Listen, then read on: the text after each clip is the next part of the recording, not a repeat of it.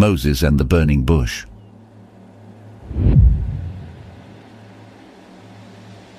In the far reaches of the sun-drenched lands of ancient Egypt, where the sands whispered tales of epochs long past, the once celebrated Israelites found themselves ensnared in the chains of servitude.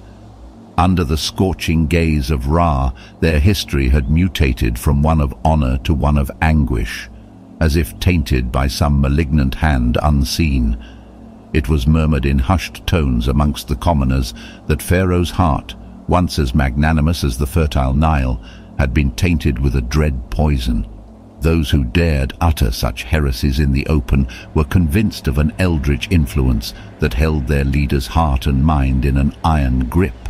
Shadows seemed to lengthen, strange symbols appeared scrawled on the palace walls, and priests of the great god Ra often found their prayers interrupted by a bone-chilling wind. In the abyssal realms of twilight, where humanity dare not tread, the enigmatic god Anubis associated with the afterlife, but known to a few as an emissary of forces beyond comprehension, whispered treacherous thoughts into Pharaoh's already troubled mind. The Israelites, Anubis hissed in tones as cold as the spaces between the stars, multiply. Their intentions are insidious, and they conspire to see your vast empire crumble. The insidious influence of Anubis intensified the paranoia that had already taken root in Pharaoh's soul. Gazing across his magnificent city, with eyes now clouded with dread, he resolved upon a most grievous edict.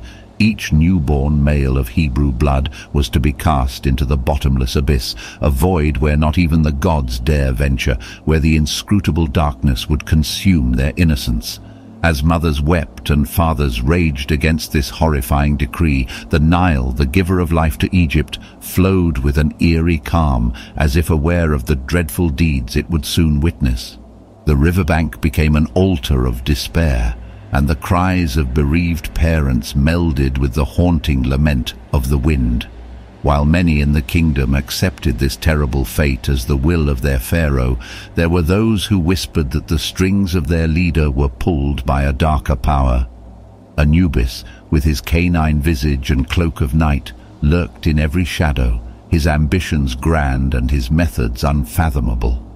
In this age of despair, the hope of an entire people would soon rest upon the waters of the Nile, where destiny, in its enigmatic wisdom, was preparing to set a new tale in motion.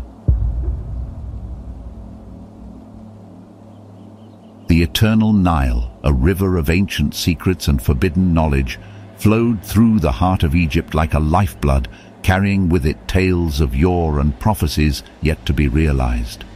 It was upon this river's edge, among the reeds and lilies, that an ark of bulrushes concealed a fate that would shake the pillars of the cosmos. In the quietude of morning, as the rose-tinted hues of dawn caressed the still waters, a daughter of Pharaoh, accompanied by her handmaidens, approached the river bank for her sacred ablutions. But instead of the usual tranquility, an unexpected melody, a baby's cry, filled the air, its notes filled with both vulnerability and unseen power. Drawn by a force she could neither understand nor resist, the princess uncovered the ark, and therein lay a child of Hebrew descent. His eyes, though those of an infant, seemed to hold galaxies of ancient wisdom, and for a fleeting moment she felt as though she stared into the vastness of the universe. The spell was broken when the infant's hands reached out, a simple gesture that tied their destinies together. Naming him Moses, which in her tongue meant drawn from water, she adopted him into the royal fold. Unbeknownst to her, she had brought into the heart of Egypt's power the very seed of its potential undoing. As Moses matured within the palace's marble halls, surrounded by luxury and opulence, an unsettling dissonance grew within him. The whispering walls, perhaps imprinted with the arcane energies of the land, recounted to him the cries of his brethren, their lamentations echoing in the chambers of his soul. The weight of a divided heritage pressed upon him, a duality of princely privilege and the pain of his true kin. One fateful day, his inner turmoil manifested. Observing an Egyptian taskmaster meting out cruelty upon a Hebrew slave, something primordial and fierce stirred within Moses. An uncontrollable rage, as vast and tempestuous as the stormy seas of old, propelled him. Striking down the tormentor, Moses felt the chilling touch of reality's fabric tearing, realizing he had awakened forces both terrestrial and cosmic. Whispers of his deed spread like wildfire, reaching even the ears of the Pharaoh, whose mind, already ensnared by the spectral grip of Anubis, perceived this as a portent. Moses, sensing the impending doom and the tightening noose of eldritch forces, chose exile over confrontation. He fled the vast expanse of Egypt, seeking solace in the distant lands of Midian.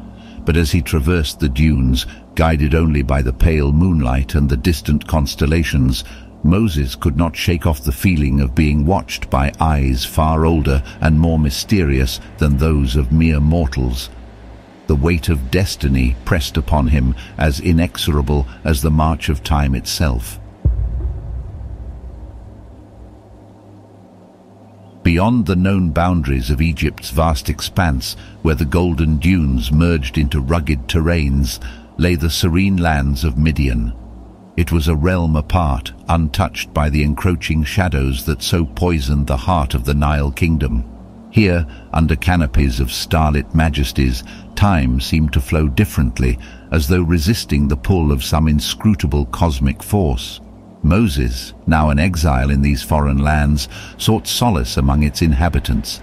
In his solitude, he had hoped to escape the echoing cries of his kin and the looming spectre of Anubis, but destiny's threads are spun by hands unseen and unknowable. It was in this sanctuary that Moses's eyes met those of Zipporah, a woman of ethereal beauty and grace. Her presence seemed to quell the tempestuous seas within him, and in her gaze Moses found a refuge far more comforting than any shelter. Drawn together by forces ancient and profound, the two entwined their lives. Moses, adopting the humble life of a shepherd, would lead his flock under the vast indigo skies, while the luminous orbs above bore witness to their love. Nights in Midian were a spectacle to behold where the constellations danced, recounting tales from epochs long gone. Yet, even in these moments of tranquility, Moses could not wholly escape the omnipresent grip of his fate. The serenity of Midian's landscapes would occasionally be disrupted by haunting dreams, eldritch visions of vast abysses, cyclopean structures, and the ever-watchful eyes of Anubis. The god's shadowy tendrils seemed to stretch even to this remote haven, attempting to ensnare the very soul of the Hebrew outcast. Zipporah, sensing the tumult within her beloved, would often sing hymns of old, their melodies crafted to ward off malevolent entities.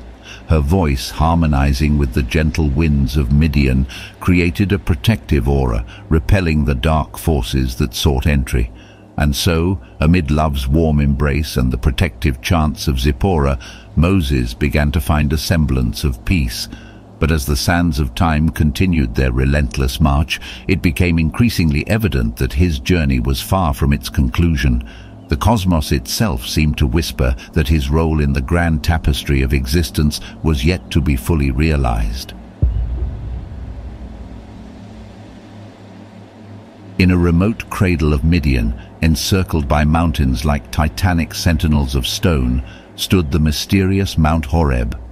This place, draped in legends and ancient folklore, was said to be a nexus where the veil between realms grew thin, a place where the cosmic and the terrestrial could touch. Moses often led his flock near its base, a region that even the most seasoned shepherds shunned for reasons they dared not articulate. On an afternoon veiled in a sense of portentous calm, Moses found himself drawn away from the security of known paths. The sky above, once a canvas of endless azure, metamorphosed into an amalgamation of colors too strange to be named, and Moses felt the boundaries of time and space bend and warp. Propelled by a force otherworldly yet intimate, he felt himself gravitate towards the higher slopes of Mount Horeb. There he encountered an enigma that defied the laws of nature, a bush ablaze yet untouched by the flame. Its fire was unlike any other, a mesmerizing dance of hues that suggested realms and realities beyond human comprehension. And from within this impossible flame, a voice resonated, reverberating in the very marrow of his bones. Moses, Moses, the voice intoned, echoing as if from the depths of eternity. Trembling, Moses hid his face, for he was filled with a profound and unspeakable fear of gazing upon this entity. Here I am, Moses replied, his voice but a whisper. It was then that the ancient deity identified himself as Yahweh, the God of his fathers, the God of Abraham, of Isaac, and of Jacob. The presence of Yahweh filled the air, suffusing reality with a palpable aura of sanctity and dread. I have seen the misery of my people in Egypt, and I have heard their cries, Yahweh said, each word carrying the weight of unspoken millennia. I am sending you to Pharaoh to bring my people out of Egypt. At this proclamation, Moses hesitated, his voice quivering. But who am I to appear before the elders of Israel? They will not believe me, and I am of slow speech and tongue. A flicker of celestial anger emanated from the fire. I shall be with you, Yahweh responded tersely, and your brother Aaron will speak for you. Yahweh, understanding the reservations within Moses, bestowed upon him a series of signs, manifestations of cosmic power. A staff that could transmute into a serpent, a hand that could turn leprous and heal again, and lastly, the ability to turn the very waters of the Nile into blood. These signs, while awe-inspiring, served to also remind Moses of the titanic confrontation that lay ahead where he would challenge deities older than the world itself.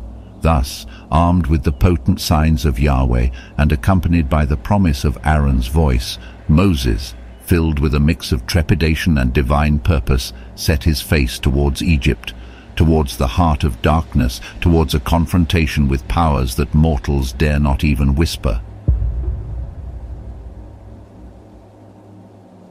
The foreboding deserts of Egypt, ever shifting and whispering their ancient secrets, were the backdrop for Moses's furtive movements. Under the veil of a cosmos pregnant with arcane energies, he rendezvoused with Aaron, his blood, the one chosen to voice the divine proclamations Moses so desperately needed to convey. Their reunion, punctuated by the otherworldly signs Yahweh had bestowed upon Moses, was both heartening and terrifying. Aaron, ever the eloquent, beheld the transformation of the staff into a serpent and the manifestation of the plague upon Moses' hand with a mix of awe and horror. The true depth of their mission with all its cosmic implications was beginning to dawn upon them. Gathering themselves, they convened with the elders of Israel, revealing to them the extent of Yahweh's designs and the magnitude of the divine power they now wielded. The signs were repeated, and as Moses' staff transformed and his hand bore witness to the divine affliction, a hushed reverence fell upon the gathering. The weight of millennia of oppression and longing hung in the air, now tinged with a burgeoning hope. Yet, within the sinuous byways of Egypt, other forces stirred. Whispers of Moses' return and the strange miracles accompanying him began to slither into the ears of Pharaoh's informants. The very wind seemed to hum with anticipation, bearing tales of the oncoming confrontation between forces beyond mortal comprehension. Moses, sensing the growing unease and the tightening noose, prepared his people. Every moment was precious, every whispered prayer, every hushed conversation, every clandestine gathering, a small step in their monumental journey towards freedom. In the midst of their covert preparations, the ineffable voice of Yahweh found Moses once more, reminding him of the daunting task ahead and the cosmic confrontation that awaited. But it also spoke of hope, of liberation, and of a new dawn for the children of Israel.